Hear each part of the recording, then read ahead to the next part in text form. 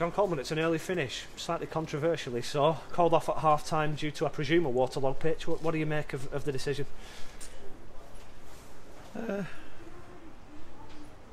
well, we're coming away talking about a, a refereeing decision again.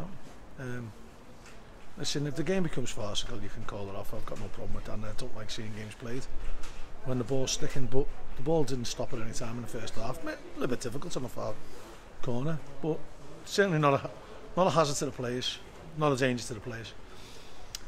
The conditions hadn't deteriorated in a minute after he blew for half time.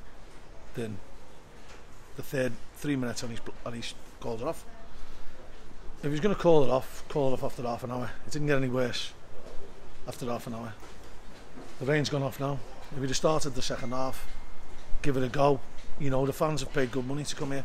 The Morecambe fans have travelled in the numbers as well. Both managers want to carry on playing the game. Neither of us were consulted, which I think's a poor showing, to be honest. Um, but we should have started the second half, and then if it did get farcical, I'd be the first to encourage him, no matter what the score is, to, to abandon the game. But give it the best chance. The best chance hasn't been given yet again. Uh, whether a, a postponement or an abandonment. Jim Bentley's come out and said the same thing, just a bit too quick to, come to the decision. The, the, no consultation, is that unusual? Would normally there be a, conversa- a conversation between the two camps and yeah. the referee? Yeah, but I think possibly in the back of his mind he knows we both wanted to play, so that's probably why he didn't consult.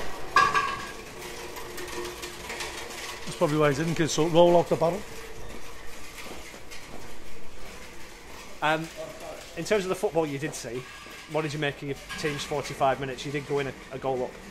Like stop start. Um, at times we played some breathtaking stuff, um, and at times we didn't defend right and give them a couple of chances that they, we should have done. Well, they should have done better, but we should have done better defensively. Um, and then we scored a great goal. Could have added to that. Billy's missed a good chance with the header. Um, and also, um, Cadenman's gone through. It'd been interesting to see if it had been 2 0 or 3 0 what it is abandoning. Um, I've played in far worse conditions than that. I've managed in far worse conditions than that. So, uh, uh, to be honest, I was very, very surprised when I heard had been called off.